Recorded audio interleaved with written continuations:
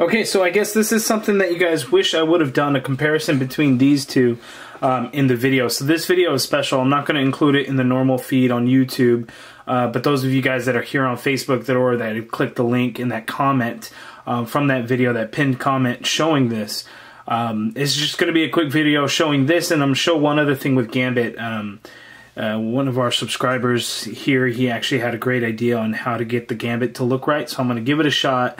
Um, and we'll kind of see how that goes. But here's the comparison between Caliban and Monster Venom. As you can see, they do not use any of the same parts. It sounds like um, a lot of people are under the impression that they did. They do not. None of nothing on these figures are the same.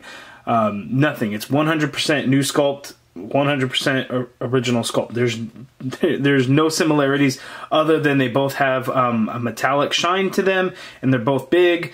Um, and it looks like Caliban actually stands taller, but that's only because Monster Venom, his torso and his head come down as opposed to going up. So there are the two.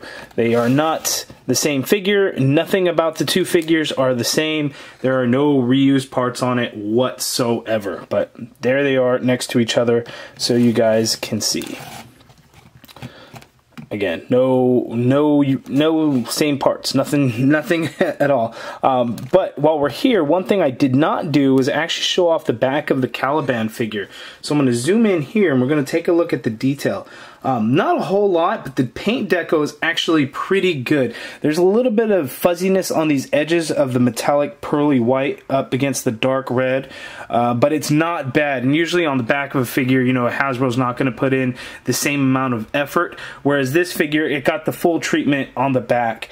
Um, again, not a whole lot design, but it does look very good, so no complaints there. So the back of the figure does look pretty good. So there he is, Caliban. Not any of the same pieces Monster Venom.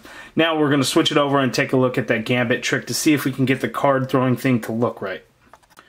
Okay, so Gary Jacobs, this one is for you. You gave me the idea of how to make it look like the card throwing effect actually looks like he's really throwing cards because they tend to have kind of the opposite direction effect. So you're right. So if you have Gambit facing towards his left and you put the fall the the effect piece palm up, it looks like he's tossing kind of like underhand this way.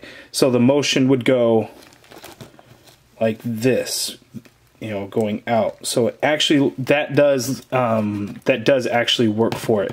So if you have them depending on how you have your positioning of it you could do it this way. So palm up. Um, I'm not sure that that's the way he would really throw the cards or not. I'd have to go back and look at see if there's any images or go back and try and watch um, the cartoon see if it actually has anything uh, of it there. But that that actually does actually work out, and that would be correct if he's doing it. If he's throwing it kind of you know palm up, that would actually work. So thank you for the tip. Um, I'm probably still going to display it with the. Uh, the two fingers holding the one card, uh, but that does work. So if you're looking to do some kind of shot, some kind of ACBA shot or something, um, that's how you would position the gambit, and it does actually work out. So thank you, Gary Jacobs. Appreciate it.